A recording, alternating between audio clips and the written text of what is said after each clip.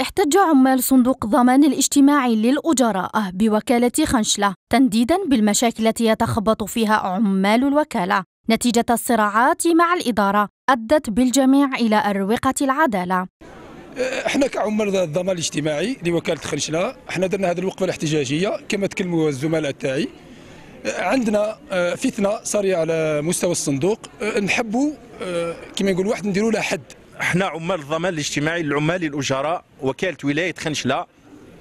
قمنا اليوم بوقفة احتجاجية لتبليغ صوتنا رسالة إلى المديرية العامة نظرا لما نعانيه من مشاكل بسبب مجموعة معروفة داخل وكالتنا.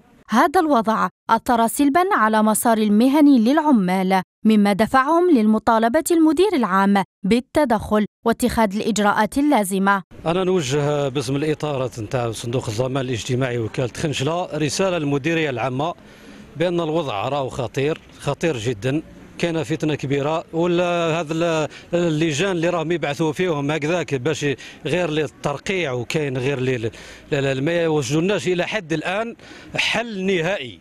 يعني عندها المشكل راهو تقريب في عامين.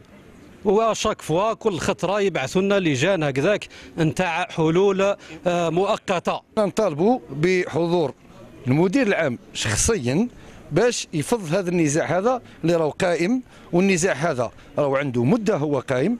لهنا في الصندوق نتاعنا حنا نتمناو أنه المطالب نتاع العمال هذه يستجيبوا لها. من جهتنا حاولنا نقل انشغالات هؤلاء للمدير الصندوق إلا أنه رفض الحديث. فإلى متى تبقى الاحتجاجات السبيل الوحيد لإيصال انشغالات العمال لأصحاب القرار؟